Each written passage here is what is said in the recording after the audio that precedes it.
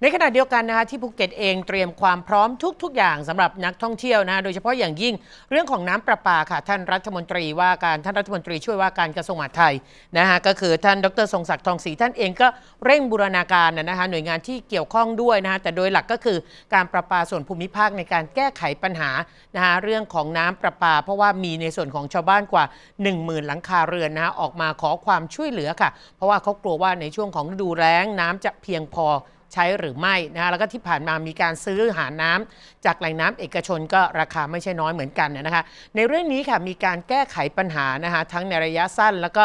ระยะยาวด้วยนะคะเพื่อให้เกิดความยั่งยืนในการบริหารจัดการน้ำไปติดตามรายงานจากคุณธิดารัตน์อนันตรกิติค่ะ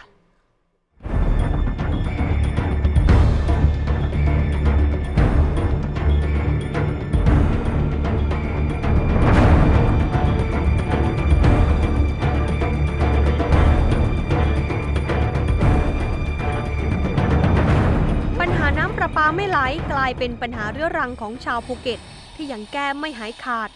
ถึงแม้ในช่วงนี้จะเข้าสู่ฤดูฝน แต่ชาวบ้านก็ยังไม่ไว้วางใจ ว่าในสิ้นปีนี้จะมีน้ำใช้เพียงพอต่อการอุปโภคบริโภคหรือไม่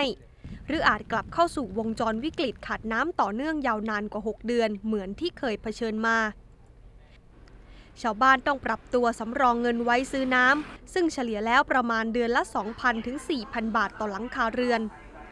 ที่ผ่านมาความเดือดร้อนของชาวบ้าน เคยถูกส่งมายังหน่วยงานท้องถิ่นจนถึงระดับจังหวัด แต่ยังไม่สามารถแก้ไขได้อย่างถาวร เขาบอกว่าเขาเนี่ยจะทำท่อน้ำที่ไปเชื่อมกับขุมน้ำเอกชน เพื่อดึงน้ำเนี่ยมาเข้าโรงกรอง แล้วก็จะได้จ่ายน้ำให้พอ แต่จากการที่เราก็นั่งคุยกับทางผู้ที่เกี่ยวข้องทั้งหมดนะณวันณปัจจุบันณวันนี้ยังไม่มีท่อที่ว่า เพราะว่าตอนที่เขารับปากนี่ภายใน 22 มีนาเนี่ยเขาจะต่อท่อเสร็จนะจะทำให้เรานี่มีน้ำใช้ แต่หลังจากนั้นก็ยังไม่เห็นมีการไปเอาน้ำจากขุมน้ำหรือทำท่อที่ว่าหรืออะไรยังไงเลยนะคาดว่าทีเนี้ยก็บอกว่าปีหน้าเขาจะสามารถกักเก็บน้ำในเขื่อนได้พอ ทุกๆ ปีคนเข้ามาในภูเก็ตเพิ่มมากขึ้นทำให้ปัญหามันเรื้อรังคือ มีคนใช้น้ำเพิ่มแต่ปริมาณน้ำเท่าเดิม แล้วถ้าเกิดปีหน้าเจอสภาวะฝนแรงอีก แล้วถามว่าจะมีน้ำใช้ไหมครับ ปัญหาการขาดแคลนน้ำกระทบเป็นวงกว้าง ถึงการบริหารจัดการน้ำของผู้ประกอบการคอนโดมิเนียม หอพัก ห้องเช่า รวมถึงชุมชนเคหะ ที่ต้องเตรียมรับมือกับสถานการณ์ทุกเมื่อ ผู้จัดการนิติบุคคลโครงการบ้านเอื้ออาทรรัศดาบอกว่า ช่วงต้นปีที่ผ่านมาลูกบ้านกว่า 1,500 คนใน 16 อาคารขาดแคลนน้ำต้องรวมเงินซื้อน้ำจากแหล่งน้ำเอกชน เพื่อนำมาเก็บไว้ในบ่อพัก เฉลี่ยเป็นเงินกว่า 4 ล้านบาท ซึ่งแผนในอนาคต ทางโครงการอาจจะต้องขุดบ่อบาดาลเพื่อมีน้ำสำรองให้ลูกบ้านได้ใช้ ถึงแม้จะต้องแบกรับกับความเสี่ยงเรื่องของคุณภาพน้ำก็ตาม ที่ผ่านมาลูกบ้านต้องนำถังลงมาหิ้วน้ำจากชั้นที่หนึ่งขึ้นไปใช้แทน ใช้วิธีซื้อน้ำเหมือนเดิม วิธีที่ 2 คือใช้วิธีการประสานงานกับหน่วยงานท้องถิ่น เพื่อขอรับบริจาคน้ำน้ำที่ได้รับบริจาคบานเนี่ย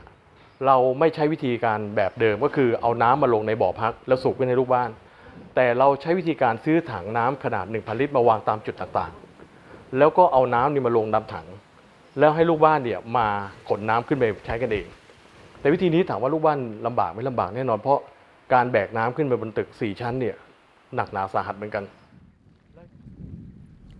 จากการสำรวจพบจังหวัดภูเก็ต มีแหล่งน้ำดิบขนาดใหญ่จำนวน 3 ที่ คืออ่างเก็บน้ำบางวาดมีความจุกว่า 10 ล้านลูกบาศก์เมตร